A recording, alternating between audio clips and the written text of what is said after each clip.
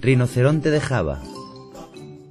Cazado sobre todo debido a las propiedades que se le atribuyen a su cuerno en la medicina tradicional china y como objeto decorativo, solo existían cerca de 29 ejemplares en la isla de Java, Indonesia, en 2012. Leopardo de las Nieves. Esta especie se ve amenazada por la invasión de su hábitat por el hombre, en China, en Pakistán, en India y en Nepal. Vivir en un entorno como la cordillera del Himalaya no ha evitado que solo existan menos de 5.000 ejemplares. Este felino puede llegar a vivir hasta a 6.000 metros de altitud. Además, se comercia con su piel y en ocasiones se alimentan de animales de granja, por lo que no se duda en abatirles cuando esto ocurre. Tigre. Su población ha disminuido a más del 60% por la invasión humana de su hábitat y de nuevo por la caza furtiva. El mayor felino del planeta antes campaba a sus anchas desde Turquía a Rusia. En la actualidad ya han desaparecido las subespecies de Caspio, Java, sur de China y Bali. Atún rojo. En grave peligro de extinción, se están tomando medidas para reducir su pesca, ya que el boom del sushi ha puesto a este pez en la picota. La sobrepesca ha reducido un 85% su población en los últimos años, haciendo peligrar esta especie que era muy abundante en la década de los 60. Elefante asiático. Está en peligro principalmente debido a la deforestación de las zonas que ocupan y a su caza furtiva para obtener el preciado marfil de sus colmillos. Actualmente el comercio de marfil está prohibido, pero se sigue practicando en el mercado negro. Vaquita marina. Vive en el Golfo de México y en 2012 diversas organizaciones han contabilizado tan solo 200 ejemplares de esta bella y pequeña marsopa. Su hábitat es muy reducido y la pesca con redes está fomentando su desaparición. Esta especie no existe en ningún otro lugar del planeta. Gorila de montaña. El gorila de llanura parece a salvo, pero su compañero, el de montaña, podría desaparecer totalmente en 2025. Está en situación crítica, solo se encuentran algunas poblaciones en Ruanda, Uganda y Congo. Las causas son la desaparición de su hábitat por las madereras y sobre todo, una vez más, la caza furtiva. Delfín del río Irrawaddy.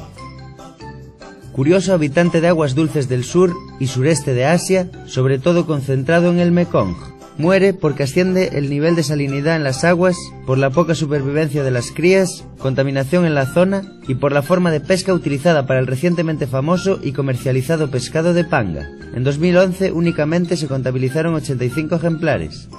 Orangután de Sumatra. Su caza y venta como mascotas y las grandes industrias de extracción de aceite de palma son las causas de su crítica situación. Estos consideran el orangután enemigo de los cultivos y no dudan en hacerlos desaparecer. Indonesia ha perdido más de la mitad de la superficie de sus bosques tropicales en los últimos 50 años para favorecer a estas plantaciones. Solo se puede encontrar a este simio en Borneo y Sumatra. Tortuga baula. Especie de tortuga marina, se encuentra en serio peligro de extinción junto a la tortuga laúd, que cada vez atraigan más al turismo. La pesca accidental, contaminación de las aguas y la caza para conseguir su caparazón, carne o huevos han hecho una brutal mella en estos animales. Tras 150 millones de años en el planeta, puede que no sobrevivan al efecto del hombre. Oso polar. Es quizás el mayor icono de los efectos del cambio climático. Su hábitat lleva varias décadas viéndose seriamente amenazado por el derretimiento de los polos del Ártico, lo que provoca el aislamiento de la especie, más dificultad para conseguir alimento y unas distancias en ocasiones demasiado largas para cruzar a nado. Según el Fondo Mundial para la Naturaleza, la especie podría desaparecer de la Tierra el próximo siglo. Pingüino de Magallanes. La subida generalizada de temperaturas en el planeta es también causante de la crítica situación de esta clase de pingüinos originaria del sur de Argentina. Los peces que habitan las aguas gélidas de la Antártida están emigrando a causa del calentamiento de las corrientes marinas. Estos peces son el alimento de los pingüinos, que se ven obligados a desplazarse cientos de kilómetros para buscar nueva comida, viajes en los que muchos fallecen. Oso panda. Menos de 2.500 ejemplares en hábitat natural. Esta es la cifra que resume el presente y el futuro del oso panda. Esta especie, originaria del suroeste de China, es un símbolo de la lucha contra la deforestación y la caza ilegal, y solo recientemente el gobierno chino ha accedido a diseñar un plan de acción para su cuidado a través del establecimiento de reservas protegidas. Jaguar. Son dos las principales razones que están haciendo desaparecer al jaguar, y ambas están motivadas por la acción del ser humano. En primer lugar, estos animales son cazados por su piel, un preciado trofeo por el que se paga muy bien. También son el enemigo de los ganaderos, que al expandir sus territorios acercan a sus animales al jaguar, cazador por naturaleza, y en muchas ocasiones defienden a su rebaño terminando con la vida de los potenciales depredadores.